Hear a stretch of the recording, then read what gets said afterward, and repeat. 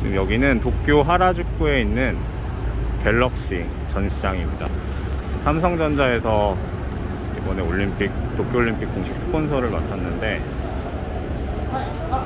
이렇게 도쿄에는 큰 전시장을 하나 만들어 놨습니다. 이렇게 보면은 갤럭시 S21 올림픽 에디션 이 안에는 다양한 상품들이 이렇게 전시가 되어 있는데요. 눈길이 끄는 곳은 여기입니다. 사람이 너무 많은데 이렇게 보면 이 전시관에서 체험을 몇 가지 하면은 이렇게 핀을 뽑을 수 있는 기회를 주는데요. 올림픽 기념 핀은 이따가 잠깐 소개를 해드리겠습니다. 이쪽으로 돌아오면은 1층에는 휴대폰 전시장이 이렇게 마련이 되어 있습니다. 이게 신제품, 휴대폰들이고요. 반가운 코너는 이렇게 BTS가 전면에 나서 있습니다. 너무 잘 나왔다.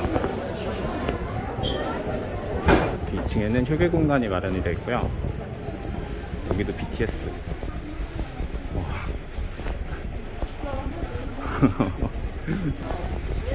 액세서리를 만들 수 있는 공간입니다.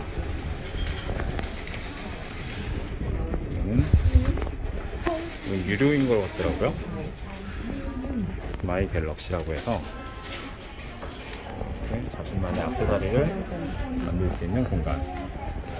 여기는 정국이가 있습니다. 아, 정국이라고 하면 안 되죠. 네. 정국님이 계십니다. 3층으로 와보면 아, legacy 약간 오 약간 역사관 같은 곳 같은데 오 볼까요? coloring and cooking 아 이게 휴대폰 제조 과정을 좀 설명해 놓은 것 같아요. 오. 스마트폰이 만들어지는 공정들을 설명을 좀 해준 것 같고.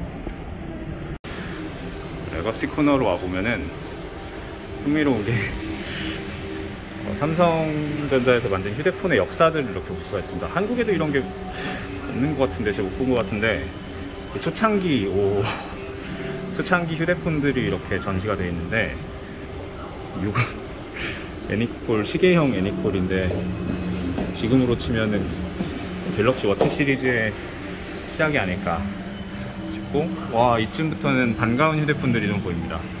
어, 많은 분들이 모르실 수 있겠지만 가로 본능 어, 굉장히 반가운 휴대폰들이 많이 보입니다. 여기부터는 스마트폰의 변천사 여기는 오, 올림픽 다큐멘터리 아 여기는 올림픽과 함께한 이제 역사들을 오, 전시한 공간인데 올림픽 역사를 보면서 휴대폰의 변천사를 같이 볼 수 있습니다. 자, 오, 이 삼성이 아마 올림픽 후원을 하기 시작한 1997년 나간 동계올림픽, 나가는 동계올림픽 때부터 전시를 해놨는데, 이, 오, 그때는 이 휴대폰을 썼던 거고요. 이렇게 보면은, 당시에 삼성전자에서 내놓은 기념 배지, 핀들이 이렇게 전시가 되어 있습니다. 아, 흥미롭네요. 이게, 이, 보세요. 2000년 시드니 올림픽 때는 이런 휴대폰.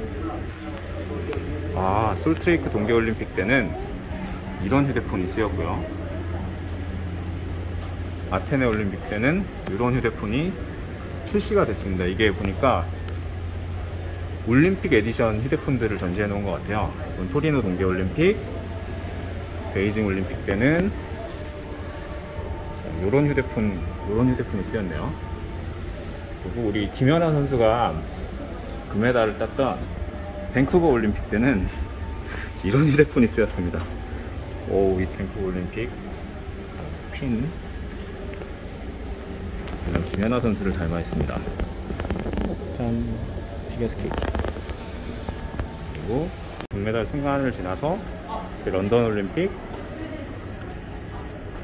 오고 그리고 평창 동계올림픽 평창 동계올림픽 때, 음, 이젠 지금과 거의 비슷한 이 스마트폰을 썼고, 이때 발행된 핀들, 아마 가지고 계신 분들이 좀 있을 것 같습니다. 그리고 이번에 도쿄올림픽에 발매된 올림픽 게임즈 에디션입니다. 도쿄올림픽 핀들. 아까 이제 1층에서 뽑고 있던 핀들이 다 이 핀들입니다. 아, 여긴 좀 체험관 같은 곳입니다. 5층 공간은 아하 갤럭시 시어터. 여기 지하 1층에 있는 액세서리 샵. 갤럭시와 BTS의 콜라보레이션 공간이 있는 것 같은데 여기는 예약이 꼭 필요하다고 합니다. 아쉽게 발걸음을 돌립니다. 이렇게 삼성전자 전지관 체험을 마쳐보겠습니다